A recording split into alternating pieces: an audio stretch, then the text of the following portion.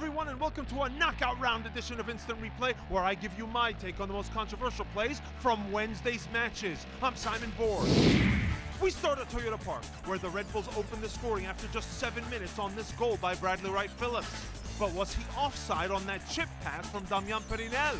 Assistant referee Corey Parker keeps his flag down, and I agree. He looked even to me. Now, our friend Soccer Photogrammetry on Twitter says he may have been off by about three inches. And that would have been way too tight to overturn. I think that's a good call.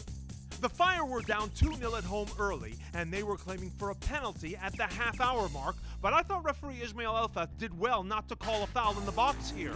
For me, that's two players making a fair challenge for a 50 50 ball, and I thought Juninho just lost his balance.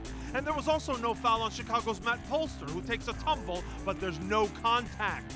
And as we saw during the broadcast, the plays were checked, but no video review was necessary.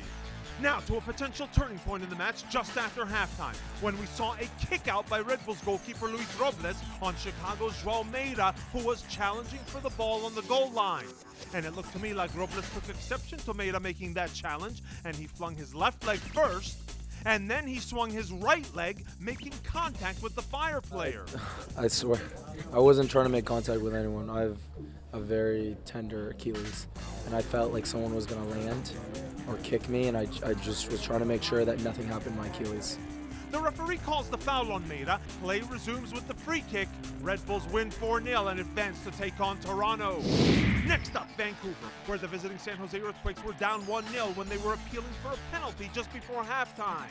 And if we slow the play down, it does look like Vancouver defender Kendall Waston has both arms on top of his San Jose counterpart, Victor Bernardez, preventing him from jumping for the ball. If it's anywhere on the field, I think it's a foul. Referee Jose Carlos Rivero does not judge it to be a foul in the box and doesn't point to the spot. Those two guys, Bernardez and Waston, they were doing anything and everything to stop each other in this one. Earlier in the match, on the other end of the field, Bernardez literally tore Waston's shirt off in an attempt to stop him. In the end, the Caps rolled over the Earthquakes 5 zip to advance to face rival Seattle, and the third goal in the 64th minute really put this one out of reach for good. And credit to assistant referee Adam Wienckowski, who kept his flag down for the entire play. And he was right. There was no offside here, or here, or here.